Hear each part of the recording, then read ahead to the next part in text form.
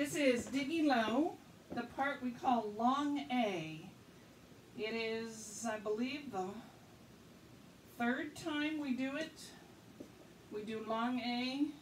There are extra beats. So the song goes A, two beats, B, A, two beats, B, and then Long A. And the way Long A works is you do A just as normal. So we do our two basics, up and run. Do that again, two basics, up and run. Now the diggy step, double up, double and a bow, stomp double, heel walk.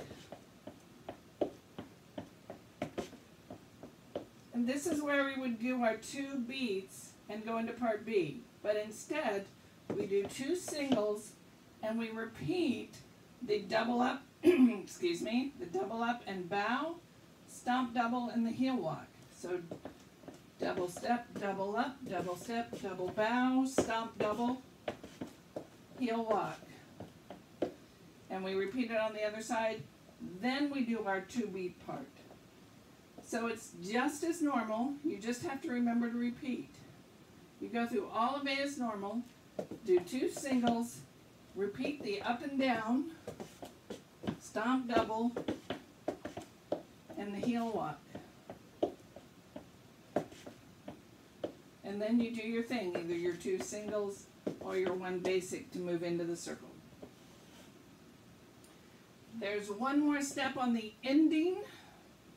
We go all the way through the song.